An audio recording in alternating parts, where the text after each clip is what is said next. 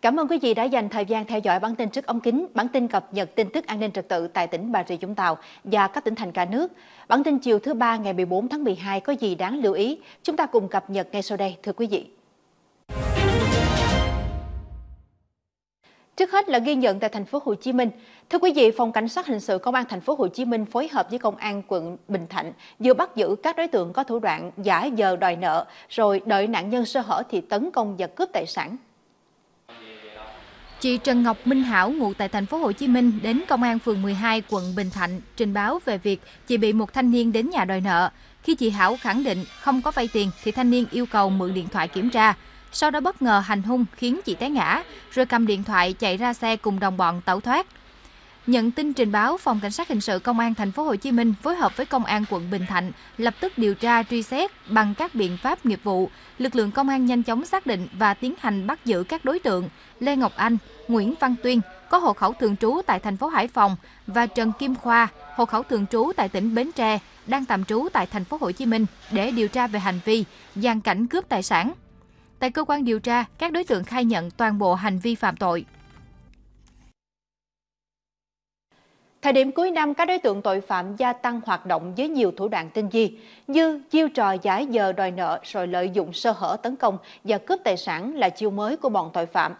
Công an cảnh báo người dân cần nâng cao cảnh giác, thận trọng trong các giao dịch, tiếp xúc với người lạ để tránh hậu quả đáng tiếc. Thêm một thông tin cũng ghi nhận tại thành phố Hồ Chí Minh – Thưa quý vị, liên quan đến ba du khách từ thành phố Hồ Chí Minh đến Hồng Kông được phát hiện dương tính SARS-CoV-2. Mới đây, Sở Y tế thành phố đã làm việc với cơ quan chức năng tại Hồng Kông và được biết ba hành khách này dương tính với SARS-CoV-2 chủng Delta chứ không phải biến thể Omicron.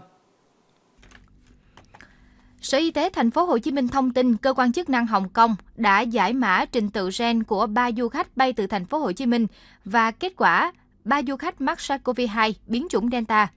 Sở Y tế thành phố Hồ Chí Minh khẳng định, đến thời điểm hiện tại, trên địa bàn thành phố vẫn chưa xuất hiện biến chủng mới Omicron của SARS-CoV-2.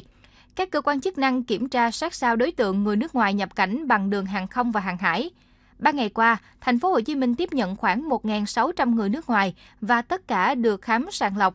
Trong số này, ngành y tế phát hiện 9 trường hợp dương tính SARS-CoV-2. Tất cả được giải mã trình tự gen và chưa phát hiện chủng mới Omicron. Tại thành phố Đà Nẵng, đoàn đặc nhiệm phòng chống ma túy và tội phạm miền Trung và Tây Nguyên thuộc Cục Phòng chống ma túy và tội phạm, Bộ Tư lệnh Bộ đội Biên phòng tổ chức đón nhận huân chương chiến công hạng nhì do Chủ tịch nước trao tặng.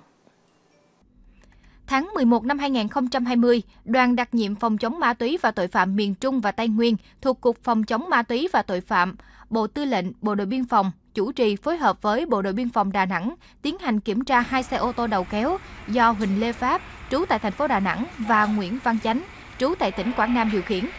Tại thời điểm kiểm tra, hai lái xe không xuất trình được đầy đủ thủ tục, hồ sơ hàng hóa. Kiểm tra các container, lực lượng chức năng kiểm đếm được số lượng lớn rượu ngoại, mỹ phẩm, thực phẩm chức năng, sữa, không trùng với hàng hóa khai trong tờ khai hải quan. Tổng trị giá các hàng hóa này hơn 14 tỷ 500 triệu đồng. Với thành tích đặc biệt, Chủ tịch nước Nguyễn Xuân Phúc đã ký quyết định tặng huân chương chiến công hạng nhì cho tập thể cán bộ chiến sĩ đoàn đặc nhiệm phòng chống ma túy và tội phạm và cá nhân đại tá Bùi Đức Trung, đoàn trưởng đoàn đặc nhiệm phòng chống ma túy và tội phạm vì đã có thành tích đặc biệt xuất sắc trong đấu tranh phòng chống buôn lậu. Thưa quý vị, trong phòng chống dịch COVID-19, bên cạnh sự tự giác chấp hành nghiêm quy định phòng dịch của đại bộ phận người dân, thì vẫn còn một bộ phận người dân lơ là, mất cảnh giác. Mới đây, Sở Tư pháp Hà Nội đã công bố mức xử phạt đối với 53 hành vi vi phạm quy định phòng chống dịch COVID-19, trong đó có 43 hành vi áp dụng xử lý hành chính và 10 hành vi áp dụng xử lý hình sự. Mức phạt tiền cao nhất lên đến 200 triệu đồng và có thể bị xử lý hành sự với mức phạt tù tối đa đến 20 năm hoặc tù chung thân. Theo công bố của Sở Tư pháp Hà Nội, mức phạt tiền cao nhất trong số 53 hành vi vi phạm quy định phòng chống dịch COVID-19 lên đến 200 triệu đồng và có thể bị xử lý hình sự với mức phạt tù tối đa đến 20 năm hoặc tù chung thân. Một số hành vi có thể chịu mức phạt trên như trốn khỏi nơi cách ly, phong tỏa, khai báo không đầy đủ hoặc khai báo gian dối, lợi dụng dịch bệnh COVID-19, đưa ra thông tin không đúng sự thật về công dụng của thuốc,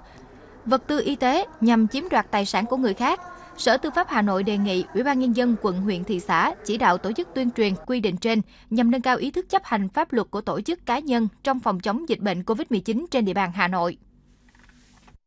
Thông tin vừa rồi đã khép lại bản tin trước ống kính chiều nay. Bản tin do Đài Phát thanh và Truyền hình tỉnh Bà Rịa Vũng Tàu phối hợp với Công an, Bộ đội Biên phòng tỉnh, Bộ Tư lệnh Dùng Cảnh sát Biển Ba thực hiện. Cảm ơn quý vị đã dành thời gian theo dõi. Để xem lại bản tin, mời quý vị truy cập vào địa chỉ website brt.vn hoặc kênh youtube BRT News. Thông tin cộng tác cùng chúng tôi, quý vị liên hệ qua hộp thư điện tử trước ống kính brt.gmail.com. Chào tạm biệt và hẹn gặp lại quý vị vào chiều mai lúc 18 giờ.